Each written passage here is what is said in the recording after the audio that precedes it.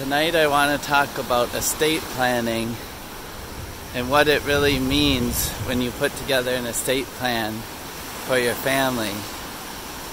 A lot of times I think people don't want to think about estate planning because they feel they don't want to face the prospect of death. And I understand that. But at my office, I look at it as a way to just put a plan in place for you and your assets that you've worked hard to accumulate after you're gone. And for most people, they have loved ones that they want to leave some sort of legacy to. And that's really what estate planning is about. Now, the other side of it is estate planning is also planning for you to care for your health and finances if you're ever incapacitated. So while many people think uh, estate planning is not something what they they want to think about. What I often see is after they complete a plan, I've had many clients tell me they had this sense of relief because they finally know everything is in order.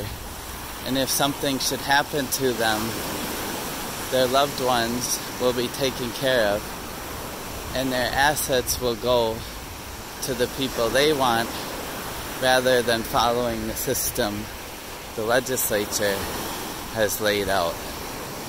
So, what I see with this is just, to me, estate planning is a gift to your family.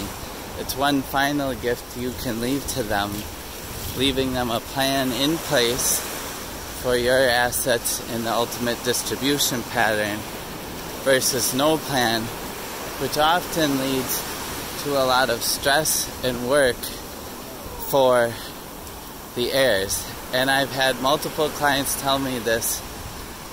They had to go through a probate for a loved one, and they tell me it's something they never want to go through again all the court paperwork, time, expense, and money, and that's something they want to put their family through.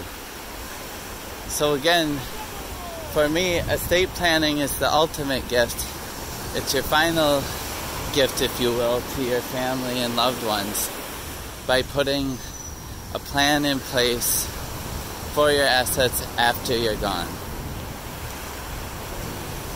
So that's today's thought on how estate planning can be a gift to your family and your final legacy. That's all for now, and we'll see you next time.